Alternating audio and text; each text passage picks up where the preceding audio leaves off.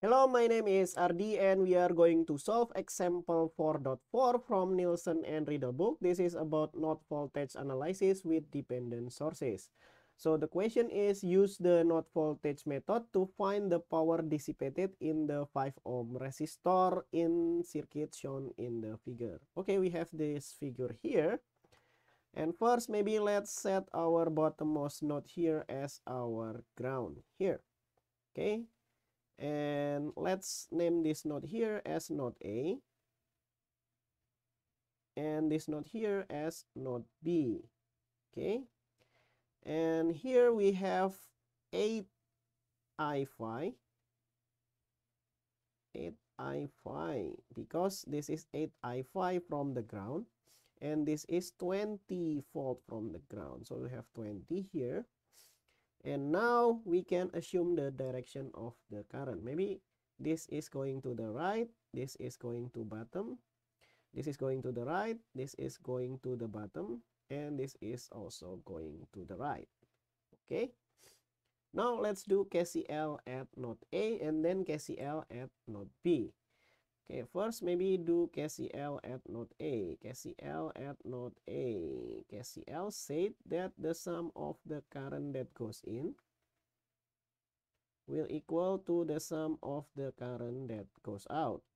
Okay, the current that goes in is this one here, but we can calculate that using Ohm's law, which is 20 minus VA divided by 2 ohm okay? And all the other currents is going out so we can put the equal sign here. Now we will have VA minus 0 divided by 20 so I will have VA divided by 20 and then for this one here we can have plus VA minus VB divided by 5 right? Okay maybe we can multiply both sides by 20 to get rid of all the denominator. Okay now we get this as 10 so I will have 200 and then minus 10 VA okay 20 and 20 will cancel each other so we'll have VA and then for that one 5 and 20 will cancel into 4 so we'll have 4 VA minus 4 VB okay? And so we will have 15 VA minus 4 VB so I will have 15 VA minus 4 VB and that will equal to 200 okay and I think we cannot do nothing more here. We can do anything more. So let's have this as equation number one. Okay now let's do another KCL but this time at node B. So we'll have KCL at node B. Okay KCL said that the sum of the current that goes in will equal to the sum of the current that goes out okay? The only current that goes in is this one here so we'll have VA minus VB divided by 5 and this current is going out and this also going out. This current here is VB minus 0 that will be VB divided by 10 and then plus we will have VB minus a I phi. So I will have VB minus this voltage here that will be 8 I phi. So I'll have 8 I phi divided by 2 and here I think we can multiply the all of them by 10 to get rid of the denominator. So we will have this one will be 2 VA 2 VA minus 2 VB and then we will have VB over 10 and 10 will cancel each other so we'll have VB and then plus we will have 5 VB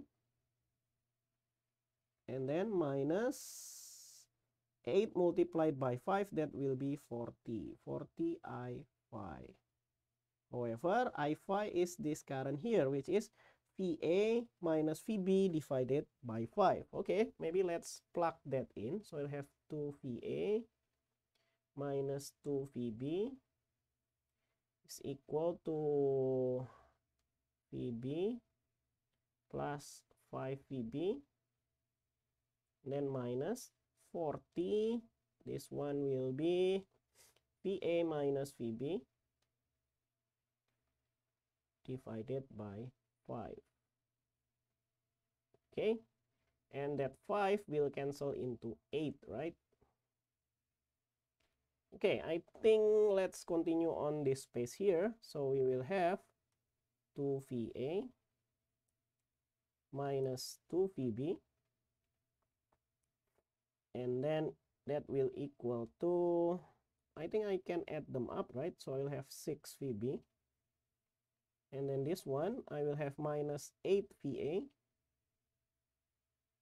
and then minus 8 multiplied by minus VB will have plus 8 VB okay and so we will have 10 VA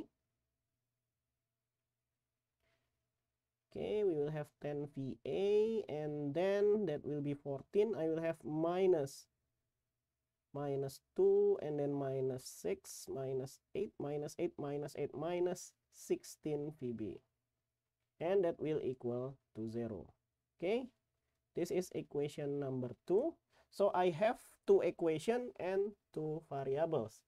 Maybe let's clean this up and just leave the two equation Okay, let's clean the slide first.